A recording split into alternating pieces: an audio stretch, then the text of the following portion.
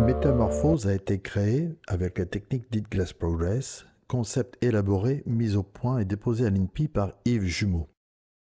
Le concept Glass Progress est une technologie avancée et innovante au service de la création à dimension architecturale. C'est du verre, de l'inox, un thermoformage à l'air libre permettant une coloration immédiate, une gestuelle spontanée.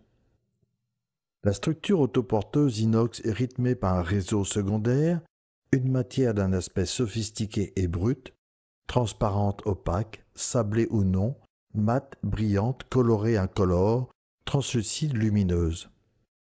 Glass Progress permet une expression libre de l'espace, ses domaines privilégiés les halls monumentaux, édifices, jeux permanents de matière, lumière et transparence, ces champs d'investigation, la sculpture, le volume, la verrière, le vellum.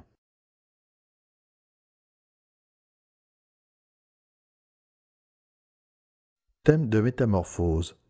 À l'instar du monde animal, ici la métamorphose est une allégorie à la psyché humaine et à ses propres capacités au changement. La représentation est traduite par un demi-visage légèrement anamorphosé. La technique créée pour la réalisation de ces sculptures est particulièrement bien adaptée.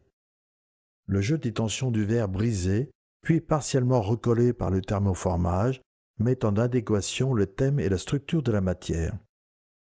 Ce travail est particulièrement visuel, le bruit des brûleurs de leurs flammes participe à cette manifestation unique. La réalisation des métamorphoses, c'est du béton réfractaire sculpté pour la forme support, mais encore des tiges des tubes inox pour le rythme et la structure porteuse. C'est huit brûleurs de 90 kW chacun afin de modeler ce voile de verre de 3 mètres de hauteur par 1 mètre. C'est 80 kg de propane consommés en moins de 25 minutes de thermoformage, ceci à l'aide d'outils métalliques ainsi que la mise en couleur tel un peintre, tout cela à une température dépassant les 1000 degrés. C'est une protection personnelle en Kevlar, un home aluminisé avec ventilation forcée afin de résister à la chaleur du four ambulant. En un mot, c'est vulcanien.